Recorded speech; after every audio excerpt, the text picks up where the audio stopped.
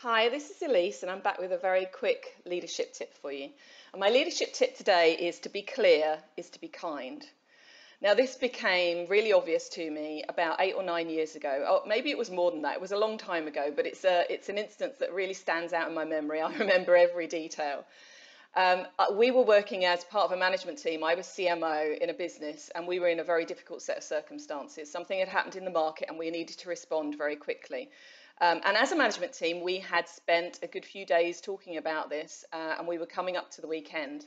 And going home on Friday night, I had a series of ideas, light bulbs went off in my head, I got very excited, and I went home and I literally spent the entire weekend working on curating some new messages. I even shot some video, um, and I went in on Monday morning and I was so excited to show it to my boss before we, we took it to the, the wider management team.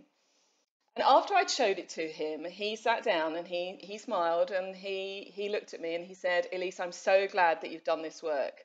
And I know you spent all weekend doing it um, because it's really helped clarify my thoughts. Because what I'm going to tell you now is this is exactly, exactly what I think we should not be doing. Now, you can imagine that really wasn't what I wanted to hear.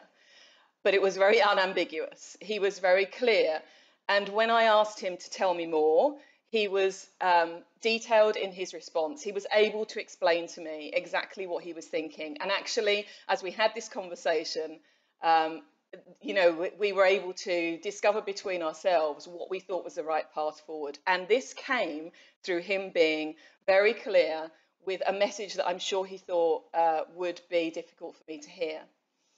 So that's my leadership tip for you. To be clear is to be kind, even when you have difficult messages to deliver. People really appreciate your honesty and they appreciate you following up with all of the detail of why you feel the way you do.